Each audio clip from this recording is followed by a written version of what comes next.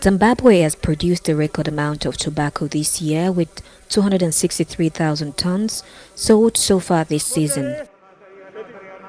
The Agriculture Ministry said that 85% of the production came from small-scale farmers, many of whom were settled on land controversially seized more than two decades ago from white farmers under a policy to address colonial-era land grabs.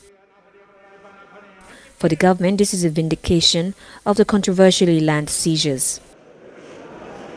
Zimbabwe is Africa's largest producer of tobacco and exports to China, the Middle East and Europe. Good rains and better financing helped farmers to achieve the record output.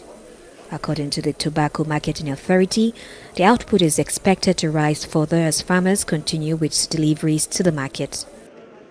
Tobacco is a vital source of foreign currency and has raked in close to $800 million this year. But it comes at a heavy price to the environment as many farmers use wood to cure the tobacco, which can lead to deforestation.